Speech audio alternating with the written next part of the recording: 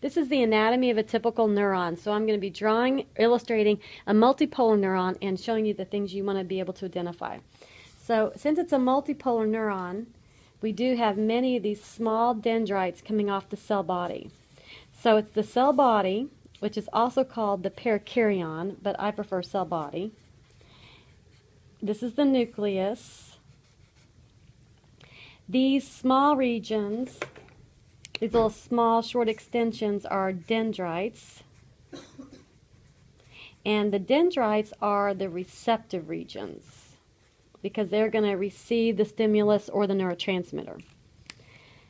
Then the cell body will taper into this funnel-shaped tapering structure that tapers into this axon that I'm drawing.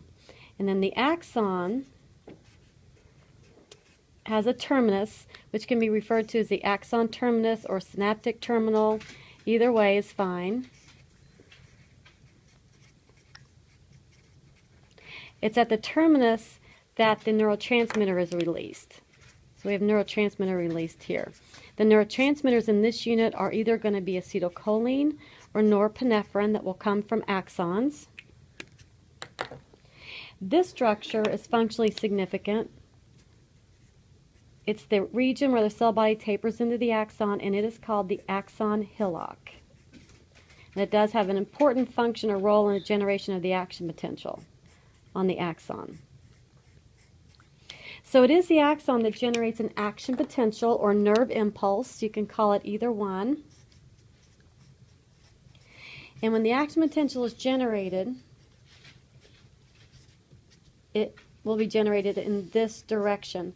So information flow across this neuron begins here at the dendrites where they receive the stimulus or neurotransmitter pass the information along the cell body, it gets picked up by the hillock, and then picked up by the axon. So information flow goes from left to right, from dendrites to the terminus, where ultimately the neurotransmitter is released.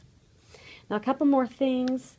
The axon, many times our axons are myelinated. So I'm illustrating Schwann cells here. So these orange cells are Schwann cells.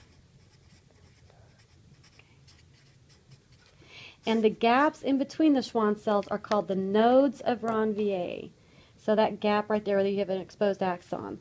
Those are the nodes of Ranvier. And finally, one more thing, we have Nissl bodies here in the cell body.